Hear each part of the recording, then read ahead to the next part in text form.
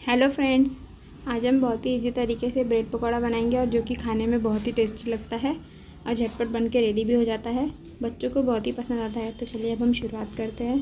तो मैंने ब्रेड पकौड़ा बनाने के लिए दो बॉइल्ड आलू को कद्दूकस करके ले लिया है, दो हरी मिर्च को बारीक काट के ले लिया है, दो तीन लहसुन को क्रश करके ले लिया है और थोड़ी सी बारीक धनिया ले लिया है काट के। अब हम आलू का मसाला बना लेंगे, उसके लिए मैंने एक पैन में दो चम्मच ऑयल लिया है, दो छोटे चम्मच है। और ऑयल को हमें अच्छे से गर्म हो जाने देना है। जैसे ही हमारे ऑयल अच्छे से गर्म हो जाए, उसमें हम डालेंगे आधा छोटा चम्मच राई। राई को अच्छे से चिटकने देंगे हम। उसके बाद हम उसमें डाल देंगे आधा छोटा चम्मच जीरा। जीरा को भी अच्छे से पकने देंगे और उसमें डाल देंगे आधा छोटा चम्मच सौंफ। सबको हम चला लेंगे अच्छे से और पका लेंगे। उसके बाद उसमें हम डालेंगे अपने लहसुन जो हमने किस के ले लिया था और बारीक कटी हरी मिर्च। लहसुन और हरी मिर्च को भी हम अच्छे से पका लेंगे। ये सारी चीज़ें हमें मीडियम फ्लेम में करना है, ताकि कुछ जले ना। सारी चीज़ें हमारी अच्छे से पक चुकी है। अब हम यहाँ डालेंगे आधा छोटा चम्मच लाल मिर्च पाउडर, आधा छोटा चम्मच हल्दी पाउडर और आधा छोटा चम्मच धनिया पाउडर। इनको भी अच्छे से मिक्स कर लेंगे हम और अपने आलू डाल देंगे अब हमें, जो हमने बॉईल करके रखा था। सबको अच्छे से मिक्स कर लेंगे।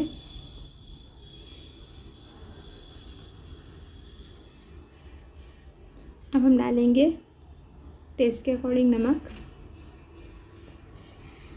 यहाँ पे हम थोड़ा सा चाट मसाला डालेंगे, जिससे आलू का बहुत ही अच्छा टेस्ट आएगा। और फिर और बारीक कटी हुई धनिया डाल के सबको अच्छे तरीके से मिक्स कर लेंगे। हमारी चटनी बन के रेडी है, देखिए। अब इसे हम एक बाउल में निकाल लेंगे।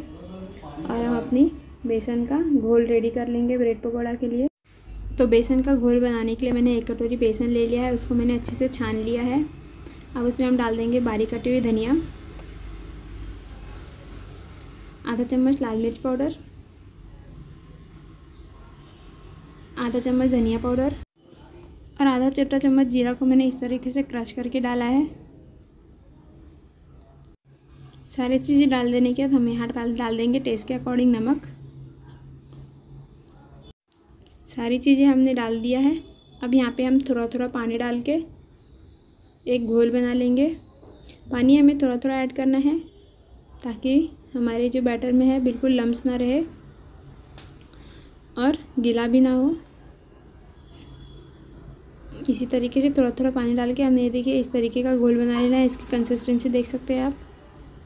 अब हम ब्रेड पकौड़ा की तैयारी करेंगे। तो यहाँ पे मैंने ब्रेड ले लिए है।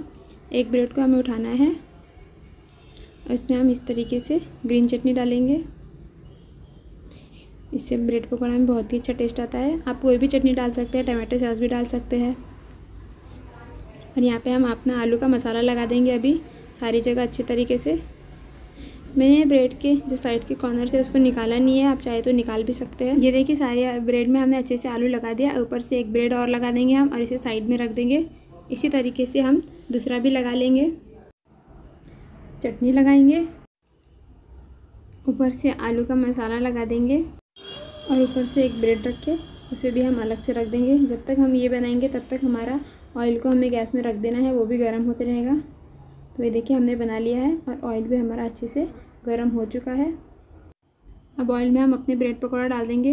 तो हमने जो बेसन का बैटर बना के रेडी किया था, उसमें हम अपने ब्रेड पकौड़ों को डीप करके इस तरीके से पहले सारा बेसन निकलने देंगे, उसके बाद कढ़ाई में डाल देंगे।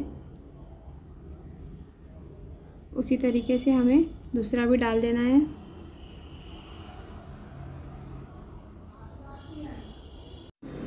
और डालते समय हमें थोड़ा सावधानी रखनी है कि तेल की छिटे हमारे पर ना आए। देखिए, दोनों हमने डाल दिए अपने। अब कुछ सेकंड के लिए ऐसे ही पका लेना है। कुछ सेकंड हो चुके हैं, अब इसे हम पलट देंगे। ये देखिए, एक तरफ़ से हमारा अच्छे से पक चुका है और इन्हें हम पलटा के दूसरी तरफ़ भी अच्छे से पका लेंगे। तो फ्रेंड्स, अगर आपको मेरी वीडियो अच्छी लगती हो तो प्लीज़ मेरे वीडियो को लाइक कर दीजिएगा और चैनल को सब्सक्राइब भी ज़रूर कर दीजिएगा और अपने फैमिली फ्रेंड्स के साथ शेयर भी ज़रूर करिएगा। ये देखिए, हमारे ब्रेड पकौड़े में अच्छे सा कलर आ चुका है और ये ऑलमोस्ट पक चुके हैं। अब हम दोनों तरफ़ से इन्हें उल्टा पुल्टा के एक बार चेक कर लेंगे। हमारे ब्रेड पकौड़े अच्छे से पक चुके हैं और इसे हम निकाल लेंगे। ब्रेड पकौड़ा हमने निकाल लिया अब हम इसे सर्व करेंगे। तो मैंने इसे ग्रीन चटनी के साथ सर्व किया है। आप टमाटो सॉस या किसी और चटनी से भी सर्व कर सकते हैं। और मैंने इसे ट्रायंगल शेप में कट कर लिया था। पूरा वीडियो देखने के लिए थैंक